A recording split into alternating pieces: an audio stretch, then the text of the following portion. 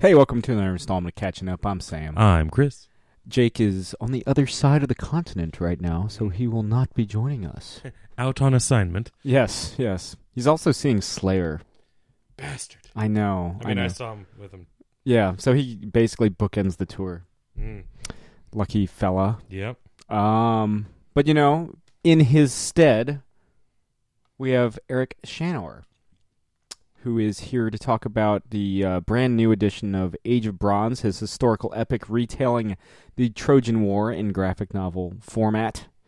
Um, that's out in comic book stores everywhere on September 12th. But let's let Eric talk about it. And joining us this week, Eric Shanower, the uh, the writer and artist of Age of Bronze, getting an all new, all color, you know, full color edition for the very first time through Image Comics, out in comic book shops everywhere on Wednesday, September 12th. Eric, thanks thanks again for coming on the show. My pleasure, Sam. Thanks for having me. So let's get the kind of the big question out of the way first. With you know, with Age of Bronze, you had originally done this in, in black and white, and that's how it was originally rendered across this entire these volumes, showcasing the uh, the Trojan War and the fall of Troy. How was it kind of? Was it always kind of in the back of your mind, like, man, maybe someday we can do this in full color? And was it was it kind of a hard process to translate it from black and white into a full color book? Well, I don't really remember if I had planned for color at the beginning. I mean, uh, at the beginning, when it first began publication, I, you know, color costs more to print, so uh, I didn't know whether the the series would would take off at all. Um, so I just opted for black and white. I also really didn't have the time to color it myself, and I I would have wanted to color it myself at the very beginning. Mm-hmm. Um, the reason we went to color was I was approached by a, digital publisher about seven years ago, and they wanted to do Age of Bronze as an app for iPad, which I thought was a fine idea. And I'm the one, they wanted to add a lot of bells and whistles. And I said, well, you know, it doesn't cost any more to publish it in color digitally than it does in black and white. So um, it just seemed to me that going color for the digital digital edition was was was sort of a no brainer. But I still didn't have the time to to, to do the coloring myself. Uh, so I, the uh, digital publisher and I uh, agreed that they would find a, a colorist and I would have uh, you know final say on every page on every colored page.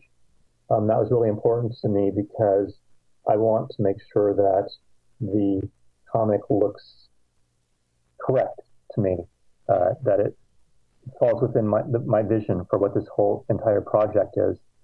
So they found me a, a, colorist, John Dallaire, and he began work. And uh, uh, at the beginning, it was a little rough because we didn't have a real, real working relationship, and and we live on opposite sides of the country from each other, so we were working by email and uh, uh, I don't know. We were using file transfer protocols, and the colors would change, mm-hmm. and it was it was kind of a nightmare. And I didn't think it was going to work, but but finally we got everything smoothed out, and and uh, it's been several years now, so we're working together really easily. It, we've got our routine down. Um, his name is John Dallaire, and he sends me page colored page. I send him black and white pages. He sends me colored pages back. I send him tons and tons of notes. He sends me a colored page back, and I send him more notes. We go through that average of four times per page until I finally approve it. Um, and I'm really happy with the end result, the way the way um, the the coloring looks now, and I hope everybody else will be too. Oh, I mean, it really it, it really does pop, and I have to ask, how was it? Because in in the first volume, you've kind of got a sequence that's very. Um, they're recounting a story. the The Trojans are recounting a story fairly early on in that first volume, and you change your your art style, where it kind of, um, it almost has like a almost like a Popeye quality to it, right? Because it's very like it's very realistic yeah. for most most of the story, and then you've kind of got this anecdotal story in the middle of it, and you just com- you know subtly change the style there. Was that kind of fun to kind of to change things up? Oh, was that was that subtle? It wasn't supposed to be. um, Uh, yeah, yeah, it's really fun. Uh, whenever I do some sort of flashback, I always uh, take on some different style to try to characterize uh, either what the flashback is or the person who's telling it.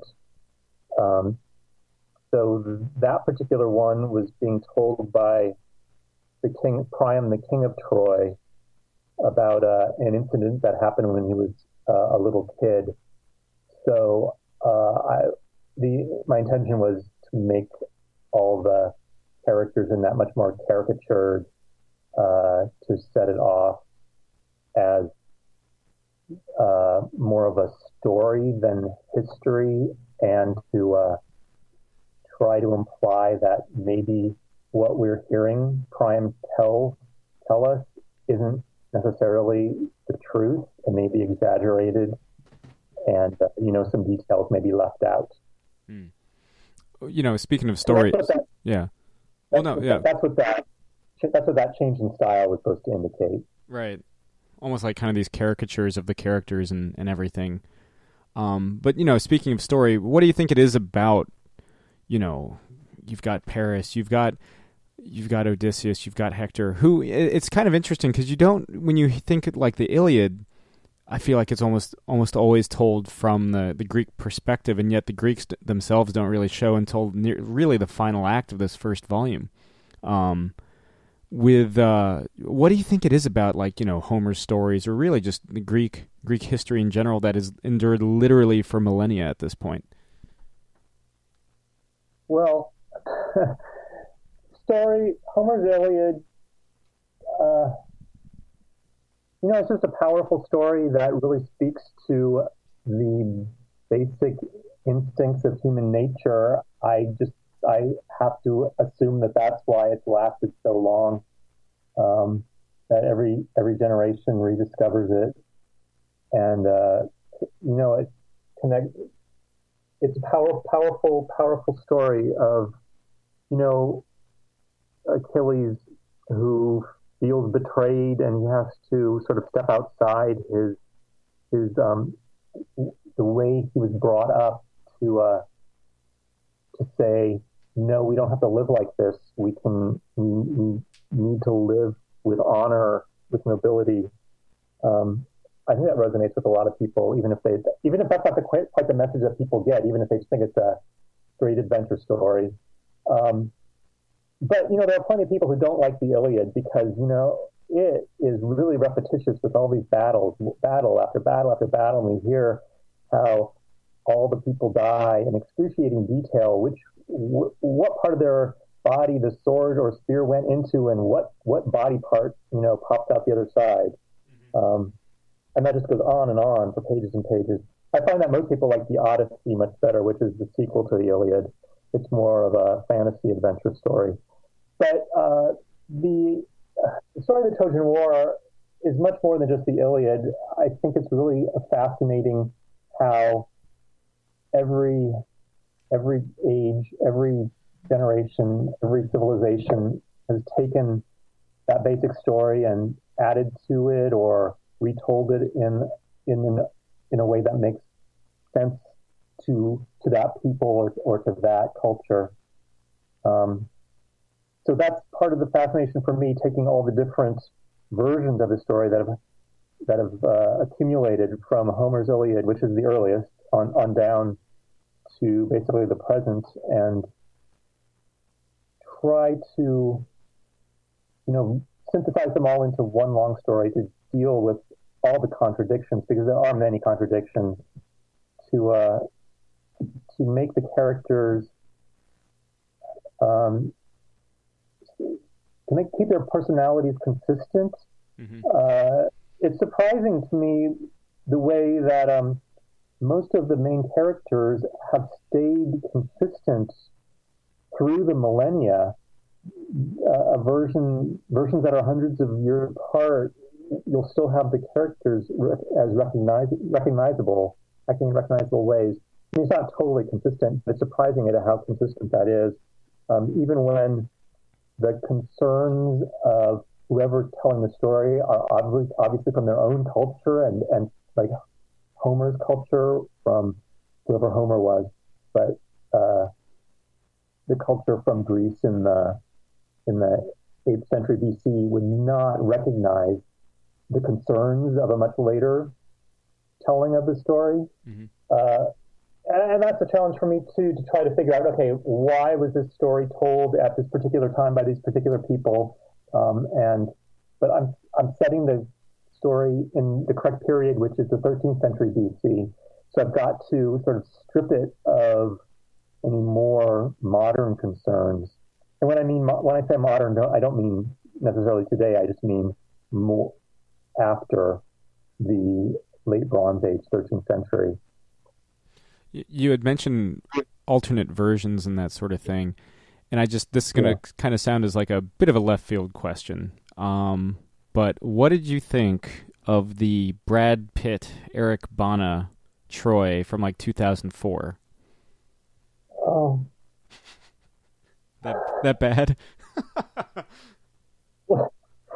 well, um, oh God, you know, I don't think there's ever been a good movie about the Trojan War. I, well, I can't say that's totally true. There was a, a Michael Cacoyannis uh, film of the Trojan Women with Katharine Hepburn and Vanessa Redgrave from the early 70s, which I think is a good movie. Mm-hmm. But I can't think of any other movie about the Trojan War that I think is really very good. Um, I didn't think that movie was very good. Uh, you know, there, there, there are parts that are fine, aspects that are fine. Um, the story itself just doesn't lend itself to uh, a two-hour, two to three-hour telling. How you can, I guess, I, I could see like like the Trojan women. That's just a one small episode in this whole tapestry of the Trojan War. But if you try to tell the whole tapestry, at least a significant part of it, it's just going to be a terrible movie because you just can't deal with it. Um, I think a, a, TV series would be much more would be much more successful. Um, I guess there was a recent BBC series about the Trojan War. I didn't see any of it, but a lot of people have been asking what I thought of it. Um, so, but I don't know because I haven't seen it. Um, there was a, there was another TV TV version I don't know about 20 years ago uh, that sort of did some weird changes to the end of the story um, brought a lot of the characters who had remained in Greece over to Troy to deal with them. Um, I didn't think it was particularly good. Uh, my version's the only good one. it's certainly like. Uh, you know, it, it's it's fascinating because you had mentioned like you know people tend to favor the Odyssey in terms of the two big Homeric poems because of its fantasy elements. You know, you're you know for our re- listeners, I was going to say readers, but you know maybe they can they can read our like annotate our our um, podcast. Anyway, the um, for our listeners at home, you you had done the Oz books with Skottie Young.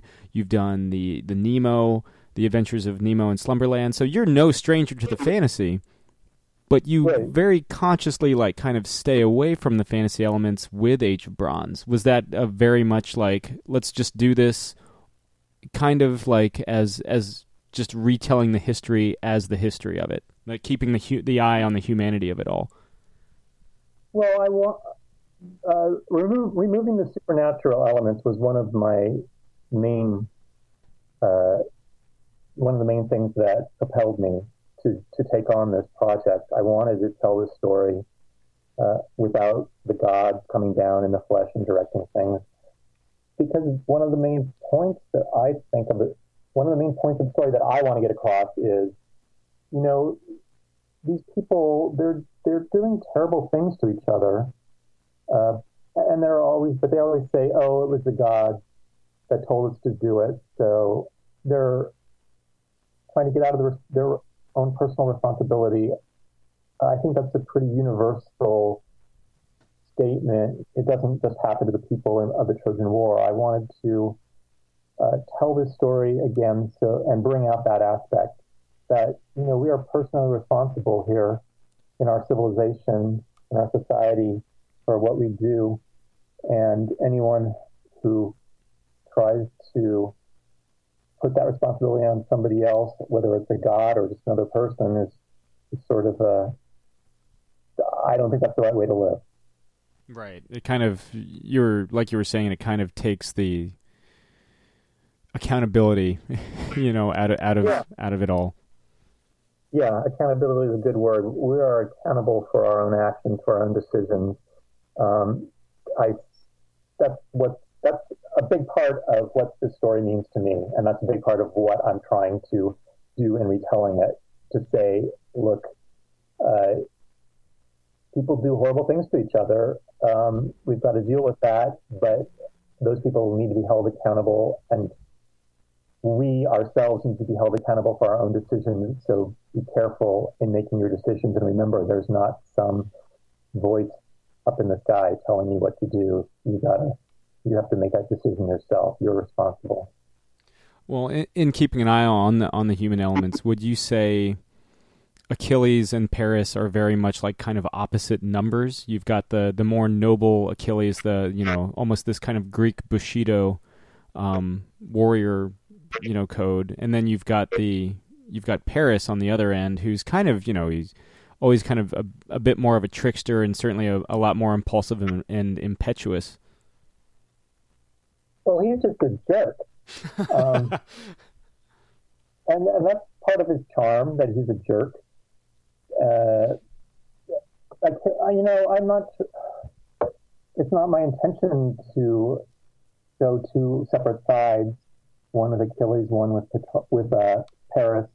Uh, you know, I don't. I have I have conflicting. I mean, I love all the characters.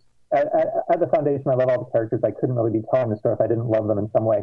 But you know, I have to uh, acknowledge their flaws, and pretty much all of them are flawed. Even Achilles, Achilles is flawed. He he, he has this uh, blindness. He can't see past his own need for to be noble, to be great, to be uh, someone who's going to be honored in song for the rest of uh, rest of Western civilization. And I, mean, we know that happens, but because the Iliad has lasted, but um, he he needs that, um, and that sort of that sort of blinds him. Um, actually, the, the episode I'm working on right now, which is the meeting of Achilles and Helen on the top of Mount Ida, um, deals with this. He Achilles at that moment has the ability to completely stop the war, or at least he thinks he does but he chooses not to because if he does stop the war, that means he won't gain glory. So you can say you can argue whether that's a good decision or not. I mean, certainly if he had stopped the war, we wouldn't have had the story. but uh, we'll, a lot of people are going to suffer because of that decision. So yeah, there's that. Yeah. his it's almost like this it's this vainglorious nobility it's nobility in the sense that he he holds himself to a higher standard but he's aware of his he's also in love with his own legend before his own legend had even been told he's like the yeah. the idea yeah. that he knows and it's it it's it costs him every you know at the end of the day you know spoilers for a thousands and thousands of year old story it costs him his life right yeah. Yes, it does. But don't tell anybody yet. Of course. yeah. so, we, again, with this with this first volume, you you really do focus on the Trojans for most of it. Is it because a good chunk of um, a good chunk of the um, of the story once the war goes underway, the Trojans are are largely holed up in their city, and so you kind of wanted to humanize them before you stuck them behind the walls. I the first volume focuses on the Trojans simply because that seemed to be where the best place for the story to start with Paris um, on Mount Ida before he knows the big secret of his past. And then when he goes to Troy, um, exploring the, the society of the Trojans. That's just where the story seemed to start to me. Um, I guess I could have started it elsewhere. I guess I could have started it uh, in Sparta with Menelaus and Helen and had, you know, Paris suddenly arrive, but then we'd have to tell this whole huge backstory about how he got to the point he's gotten to, and that doesn't seem very like a very good way to tell it to me. I just that just seemed the best place to start, and it starts there, and there's no real star of this. There's no real main character. It's sort of an ensemble version uh, I remember I remember when it when Age of Bronze began, people were a little confused or concerned that I was seemed to be following Paris and that they thought I was just going to start following him the whole way. But uh, I think by now it's pretty clear that it's more of an ensemble thing, and we follow whatever characters are important to follow at, at any given point of the story. I don't know. I hope that's clear. yeah, no, no, th- th- absolutely. You know, and of course, you know, there's more volumes to come, but okay, yeah. we we've kind of focused on the on the male protagonists of the of this ensemble cast. To you, who is Helen of Troy? Who is this face that launched a thousand ships? Well, Helen. I mean, she's this, you know, little rich bitch. Um, she, uh, she's been raised as a princess. I mean, and she is a princess in in all uh, uh, meanings of that word. Uh, so she thinks she she can do what she wants. She thinks she can get what she wants, but uh, this story is basically her wake her long long wake up call for her to sort of figure out that life isn't necessarily so easy. That other people do matter. That other people have feelings. That uh, she can't just take what she wants at the moment she wants it and discard it when she's tired of it. Uh, she gets herself into this situation because she thinks Paris is kind of sexy. And uh, she finds out that after, you know, the sex appeal wears off, that she's really not very happy. And, uh, but meanwhile, this you know, nations have suddenly come, have clashed over this decision she made. So she's got a, you know, figure a way to get out of it, and it's not easy. Right. It's so kind of yeah. So, so Helen, the story of Helen in the Trojan War is is sort of waking up to the wider world around her and figuring out how to deal with people as as real humans on their own level. Hmm. Yeah, so she, you know, it's a character that initially, like you were saying, kind of with her kind of sheltered, pampered lifestyle, doesn't understand the the nature of consequence until t- a decade long war span between two nations kind of proves as the ultimate consequence. Yes. so, like you were saying, I'm trying to think who who is the least flawed of all these characters. And yeah, that is probably the most prescient thing about uh, the the biggest appeal of like all of these ancient Greek stories. You see, certainly see it in you know Sophocles, like with the the um, the uh, the Oedipus trilogy. You definitely see it, you know, certainly in the Iliad and the Odyssey. Um, Odysseus is a bit of a cad on on the way back to Ithaca. Um, would you say? I mean, we've mentioned that Achilles has a flawed nobility, but if there is any, who is the least flawed among them? Is it Hector? Yeah, I would say Hector. He he is really just trying to do the best job he can in whatever situation he finds himself. He's pretty clear-eyed, um, but even then, you know, that's sort of his flaw. He he feels responsible, and that's going to be his downfall he can't back down from Achilles, even though everyone's telling his wife is begging him, you know, don't go out there, don't. I know you're gonna you're gonna die. I'm just stay with me. And he's like, I'm sorry, I can't. I have responsibility to this, this all the people of this city. And is that is that a flaw or is that something noble? Is that something to be admired? Well, you know, it's in Hector, it's both. So, I mean, and that's one of the great things about about this story that these characters are so, so multifaceted. They're really fascinating. Um, I love working with them. But as far as you know, the most noble character of them all, I would yeah, Hector. Right. The idea. I mean, I suppose the uh, term hubris has to come from somewhere in in some regard, right? Yeah. And I, I think that's what you know if there's anything to take away from, I don't know why I keep referencing this movie, but it's probably because it's the last adaptation in pop mainstream popular culture. But that's one thing I did enjoy about the 2004 Troy, other than like Brad Pitt's like super jacked physique.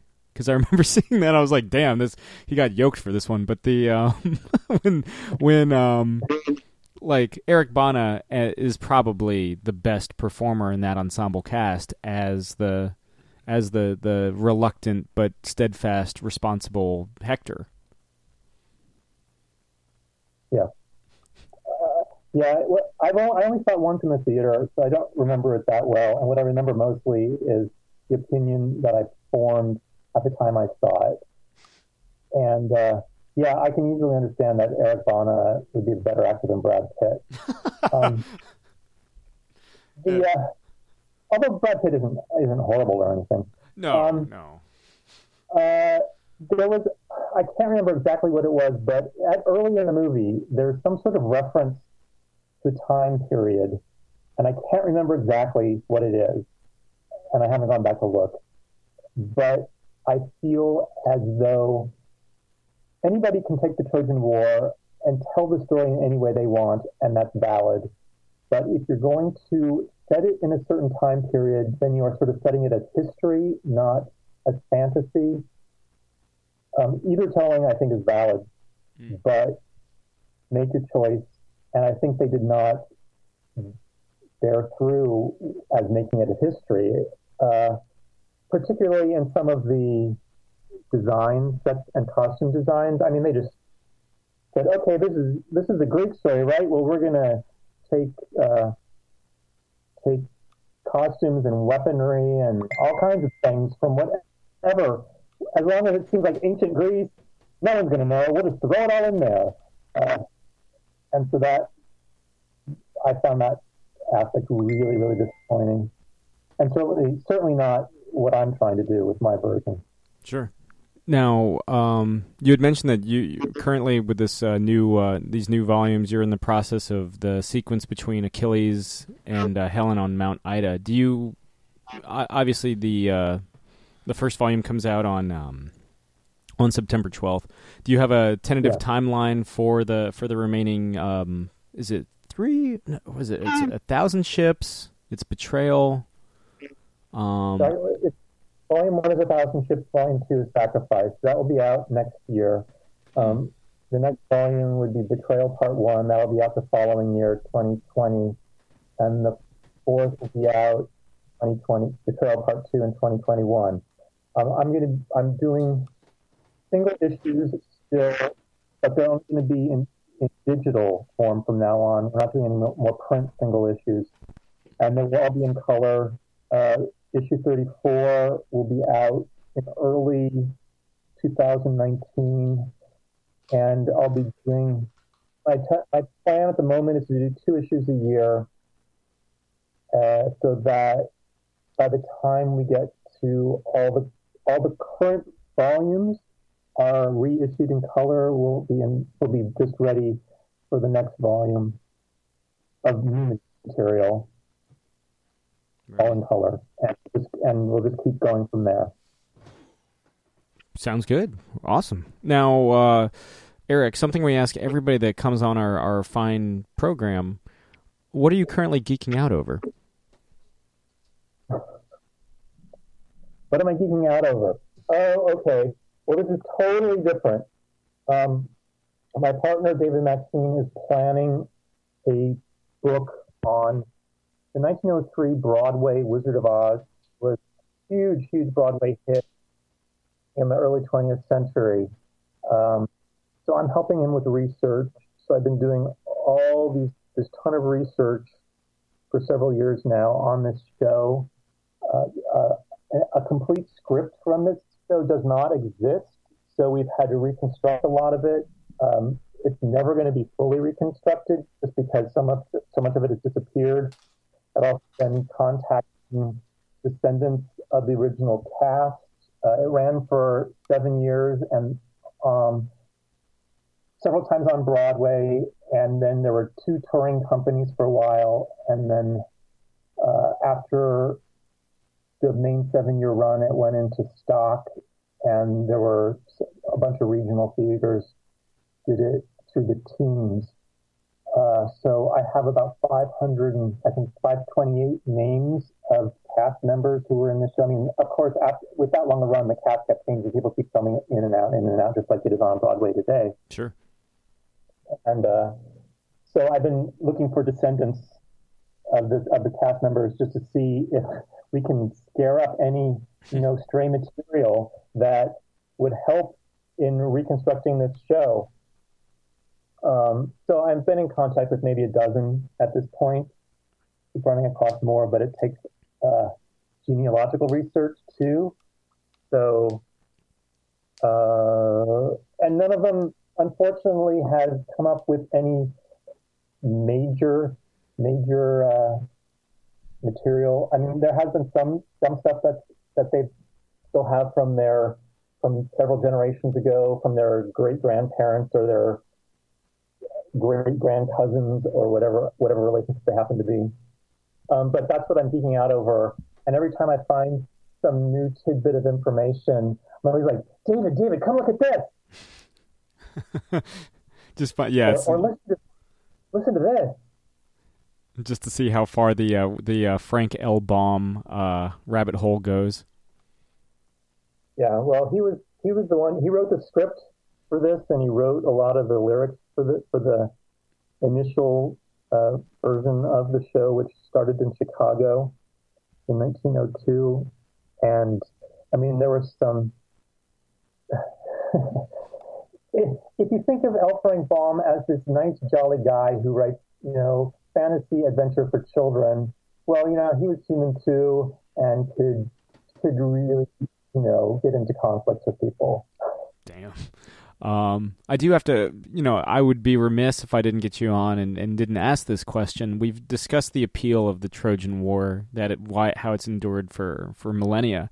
For you, what has the appeal been for the Wizard of Oz and all its subsequent, you know, adaptations and other other novels in the in the series, other books in the series? Oh, I don't know. I just like it. Um, I I saw the I saw the Judy Garland movie on TV when I was a kid, and then I got the an ab- abridgment of the book of the Wizard of Oz out from the library, and I was I was like, oh, I like this. And then I was in a bookstore. I was six years old. My parents said pick out a book, and I saw there were like several Oz books, and I was like, wow, there are more Oz stories. And so I chose one, and they read it to me a chapter a night, and uh, that I was just hooked in the beginning of that book, there was a list on, a, on an early page that had a list of the 40 books in the series. And I'm like, I want all of them. so I spent a lot of my life getting all of them. And I'm still sort of trapped in that Oz world. And it's endless. I mean, Oz just penetrates into every aspect of, of U.S. culture in ways that most people don't know or don't think of or really wouldn't care, and it really doesn't matter. But it does go everywhere. So there, the pursuit of new odd stuff is always endless. Yeah, I, I feel like most people, you know, only know about the 1939 film, or I guess maybe the James Franco film, or Return to Oz if we're getting really obscure. But people, yeah, don't and mostly know that that that Baum turned out like dozens of these things over the course of his lifetime. Like the, how how deep that like he wrote more Oz than Lewis Carroll wrote, you know, Wonderland stories. It's it's kind of remarkable how immersive and how expansive that world is. Yes, and other the after he died, the publisher hired other writers who, who wrote more than he did, yeah. and uh, there, there there are many many movies, and I mean Wicked on right now is this whole massive thing. What it's the one of the longest running shows on Broadway, and there's a movie coming out in a year or two. Um, and I don't know. Uh, I mean, I'm totally excited about the, the Broadway show from 1903, and I don't know. It it it touches so much. Um, I, I it one of the cast members in it was uh, the best friend of Evelyn Nesbit, um, who's husband Harry K. Thaw murdered Stanford White, which was the murder of the century for the first decade. I sort of always uh, think of these two bookend scandals of the 20th century, um, the Stanford White murder and O.J. Simpson.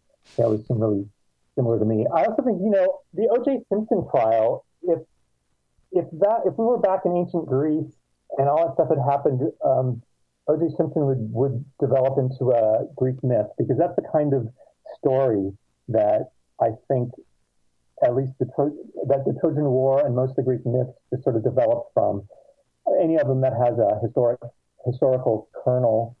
Uh, probably there was somebody, there was some conflict at in Troy, in the site where that site is, and it just sort of developed into this this major story cycle. Um, and I think you know, in a couple hundred years, are people going to be telling the same kind of thing about, say, O.J. Simpson? It's just that sort of uh, fascinating thing that captures that captures the society. I certainly remember where I was when I saw on like Fox Five where that where that white Ford Bronco was on the 405. Like there's just Uh-huh. something, oh, just something enduring about that. All these, honest God, decades later now, you know. Um, yes, decades. yeah. Well, like the JF, JFK's death, you know, all the conspiracy theories that are still alive and, and thriving, and it's you know, it's a whole this whole mythology that's been built up around this one event. Um, I, that's that's kind of it's just it's. I think the Trojan War is sort of the same thing. Well, yeah, it's it's finding that that human, and you could say that about. I, I guess you can say that to a degree about the Wizard of Oz as well. But there's always like, despite whatever the trappings are, be it a white Ford Bronco or gloves that don't fit, be it, be it you know a face that can launch a thousand ships, be it a pumpkin-headed man.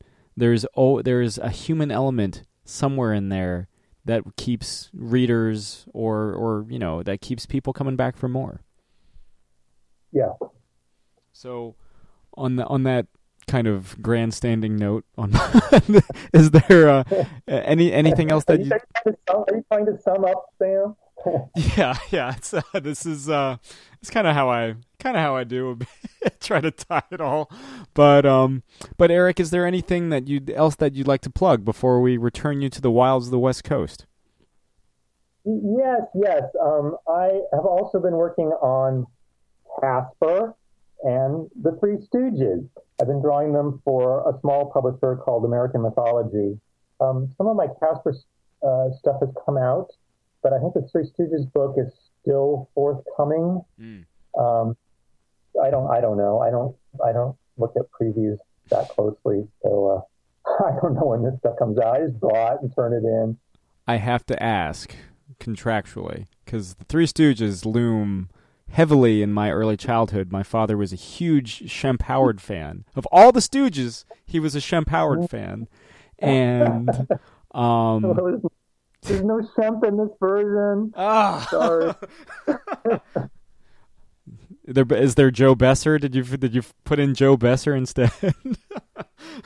It's um, Larry Moe and Curly. The stories are set in the in the mid 1930s. They're supposed to look like a Stooges short. They're being uh, printed in in black and white with tones um, to look like you know an old short.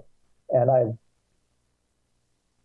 had to uh, you know go back and do research for the backgrounds and things. of That- for 1930s, you know, 1930s cars and things like that. Sure. Eh, That Eric, that means you can do the crossover that we've always wanted. The classic Stooges meet like the the Curly Shemp Joe Curly Joe team up that we never got.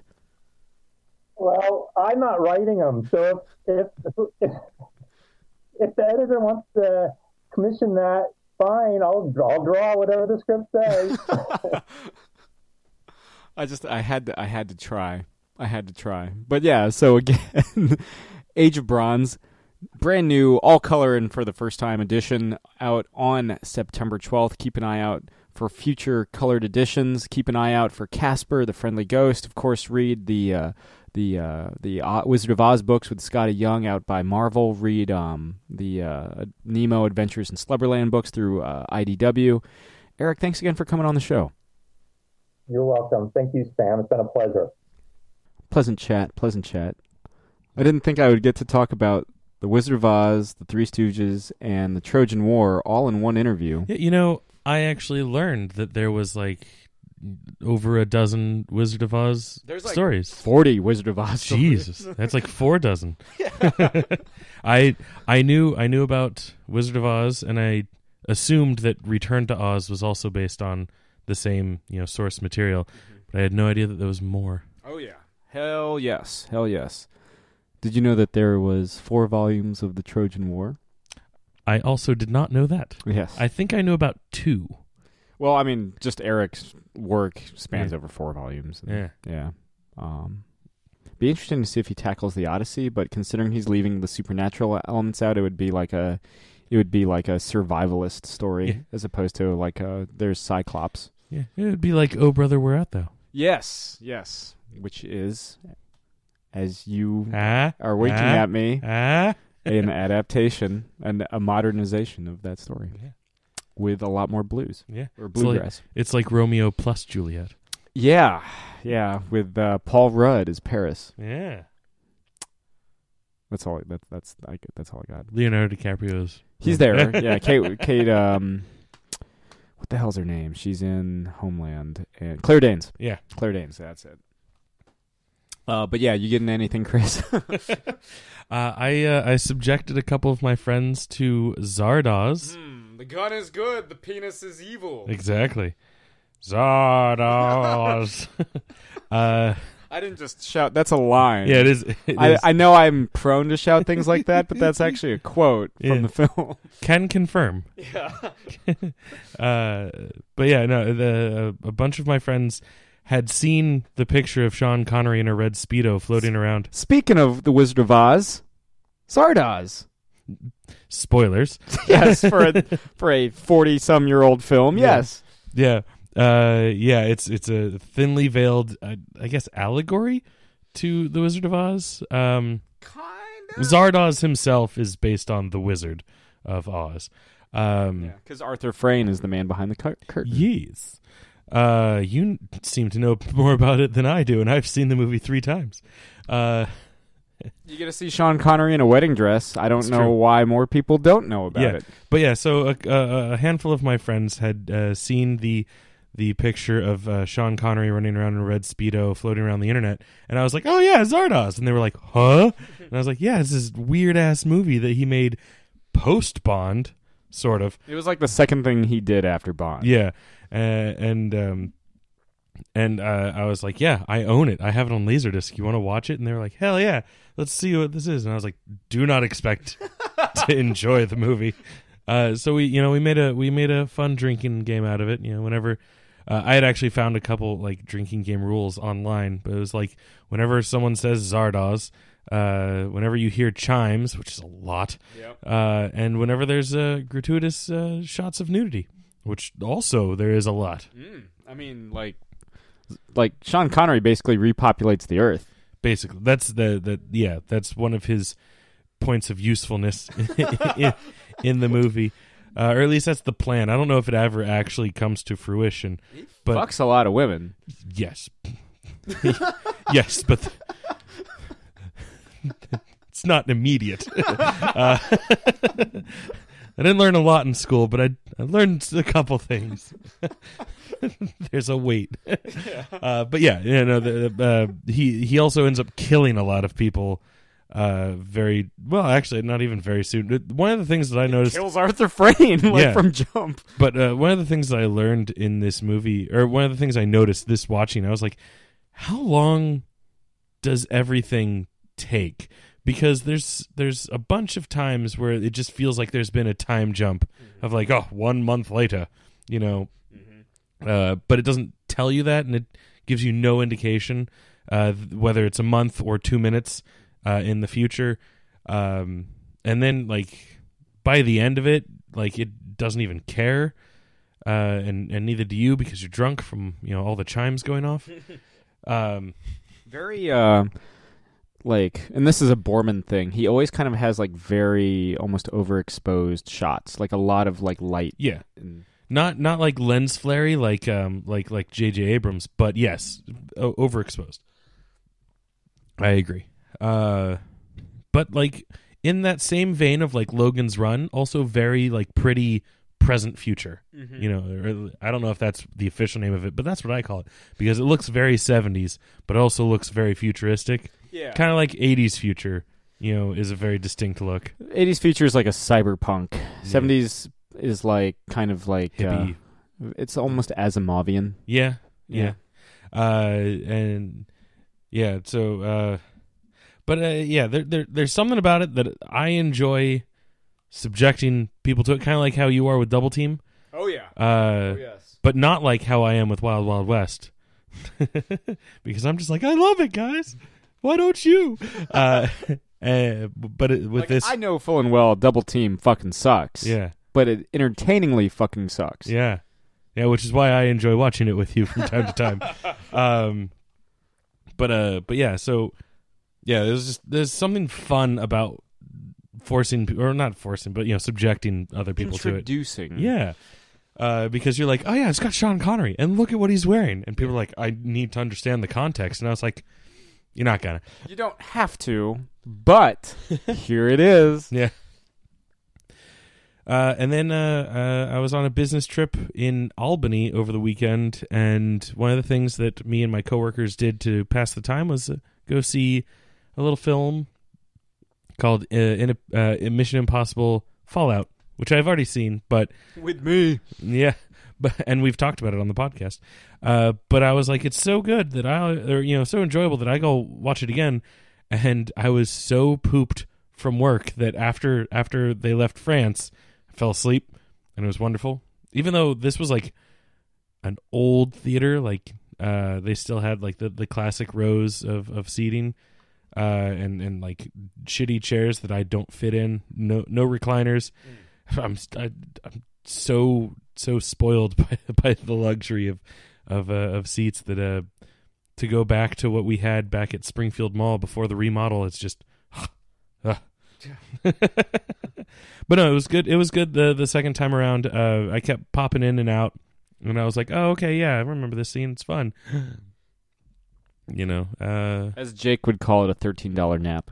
there you go uh but yeah but yeah enjoyed myself how about you Sam you uh you do anything fun Ah, you know, I saw a movie myself. oh Yeah, I saw Crazy Rich Asians. I hear great things about that movie. Yes, it is. You know, I think first and foremost, I should say, look, it's a romantic comedy. Yeah. If you know the formula, the genre, it's a romantic comedy. Yeah. Checks all those boxes. Ta da da da da. Cool. Sleepless in Seattle. Is You- there is there birds? Yes. Bringing that back. yeah. there is. Uh, thank God. There's also Crazy Rich Asians. Uh, What? no, it's actually, you know, I was pleasantly surprised how fucking funny it was. Mhm. Like, there was multiple times where I was laughing out loud in the theater. Nice. So that was uh the, there's also Mandarin language covers of Yellow by Coldplay and Material Oh. Girl by Madonna. Okay. Both well done.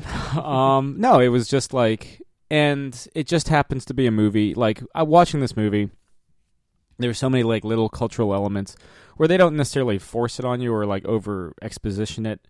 But as somebody that grew up in an you know in an Asian household, it was like, oh yeah, we did bond over like rolling dumplings, or we do like drift in between like English and the Asian language. You know, in my case Korean, in their case Mandarin. Uh, you know, we do, um, we do enjoy like the, you know Asian street food is almost like an art. Um, you know, that's where stuff like egg rolls and all that comes from, and a lot of Korean dishes too. But um, you know, it was just it was a it was it was such a pleasant. I was it's the feel good movie of the summer. Oh. You know, um, I had I had a really good time. Uh, what else did I do? I did an open mic. I did a karaoke night. I did. I bought a bed. It's it's almost like buying a zoo. It is. Jake's not there to be like, yeah, I've seen that movie. Yeah, yeah, yeah. um, yeah, as have we all. But the, um, have you seen We Bought a Zoo? I have not. Oh, okay. I'm the one that likes to keep referencing it. I have not seen it. It's a good film. That's what I hear. the um, no, I got a bed. I, I ordered- bought a bed. yeah, I bought a uh, cast iron bed because I wanted something with a little more lumbar support. Yeah. That's the kind of support that I get from a cast iron bed, right? I have no idea. Okay. Yeah. Well, that's what I wanted. Hope, hopefully that's what you get. yeah, yeah, Uh, what uh, what what size did you get? it's just a queen. Huh? It's just a queen. I, that, I love me a good queen. I do. That's I- that's what I got over there. yeah. You know, I was thinking about going full, but I'm like, no, I don't need a king, Mm, but I deserve a queen. there you go. so uh, yeah, that's. I'm actually was actually kind of excited ordering that. I was like, fuck yeah, I get a fucking fucking cast When- iron bed frame. when uh when I was living in New York, I was still living like on a twin, just on the floor. Oh God, Yeah.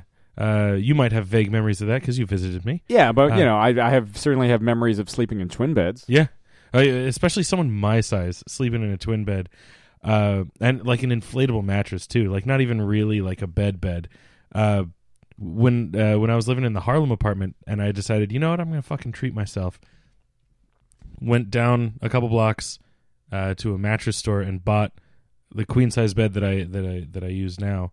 Uh, actually, not. I had to replace it recently, but whatever. That got a twin got a queen size bed frame, box spring, everything. And I was just like, yeah, I'm an adult doing good things. Yeah. It, it felt very, uh, I don't want to say empowering because I don't think that's the right word, but, you know, fulfilling. Yeah, it's whenever I buy like car parts because I have Yeah. to. You know, my car is well over a decade old now, so I have to tune it up regularly. Um, whenever I whenever I buy car parts, I'm always like, this is going to good use. Yeah. This is This is this is why I have a full time job. yeah yeah yeah. These brake pads, these will keep me alive. you know. Yeah. This is uh the serpentine belt. This is necessary for things that I do.